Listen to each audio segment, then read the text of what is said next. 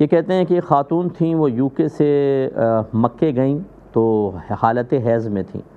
तो सीधी वो होटल पहुँच गई। पहुँचने के बाद वहाँ वेट किया, जब उनका हैज़ ख़त्म हो गया, पाक वगैरह होकर फिर वो हरम गई और एक नफली तवाफ़ खाली कर लिया और जब उनको उम्र का कहा गया तो उन्होंने कहा कि वो मैं कल जाऊँगी मस्जिद आयशा, वहाँ से आराम बाँध कर आकर और फिर मैं उम्र करूँगी। क्या उन्होंने ये सही किया? तो बिल्कुल सही नहीं किया, गलत किया। मसला ये है कि यूके से अगर वो मक्के आएँगी तो दरमियान में मीकात अगर आती हो, और मेरे ख़्याल में आती है, बल्कि मदीने की तरफ़ से आएँ तो डबल मीकात आती है तो जब वो मीकात से गुज़रें तो उनके ऊपर एहराम की पाबंदी लाजिम थी।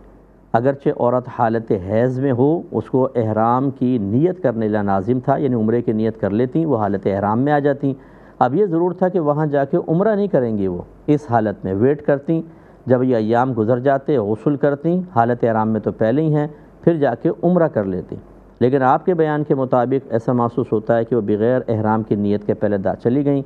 नफली तवाफ़ करके अब उन्होंने इरादा किया कि मस्जिद आयशा जाकर और अहराम बाँध कर आऊँगी।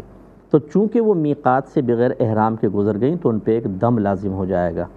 दम का मतलब एक बकरा या दुम्बा उन्हें हदूद हरम में ज़िबाह करना होगा।